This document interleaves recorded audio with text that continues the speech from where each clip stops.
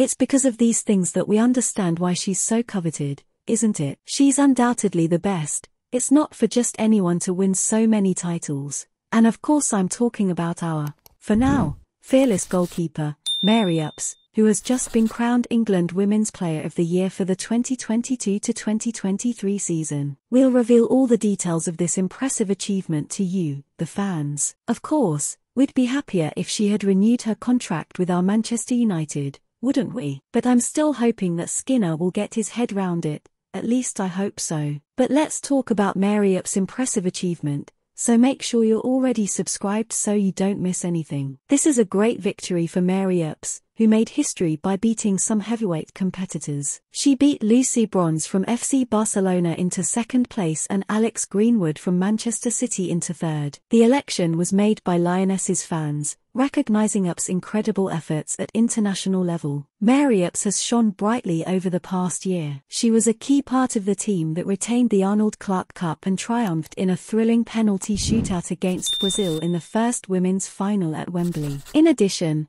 Mary played a key role in England's campaign at the 2023 FIFA Women's World Cup in Australia and New Zealand, which earned her the Golden Glove Award for Best Goalkeeper. This talented goalkeeper also received the FIFA Best Goalkeeper Award in 2022 and was nominated again this year, alongside her United teammate Hinata Miyazawa. With 16 caps in the last 12 months, including a thrilling Arnold Clark Cup win, Mary Earps is one of the biggest stars in women's football. Congratulations, Mary Earps, on this incredible achievement. All of us Manchester United fans are proud of you. Now Earps is ready to return to action for England, taking on Scotland and Holland in the UEFA Women's Nations League. This is exciting news for all Manchester United fans and for women's football in general. Follow us for more updates and news from the world of Manchester United women. Don't forget to subscribe and share this video so we can celebrate our players' achievements together. Until next time,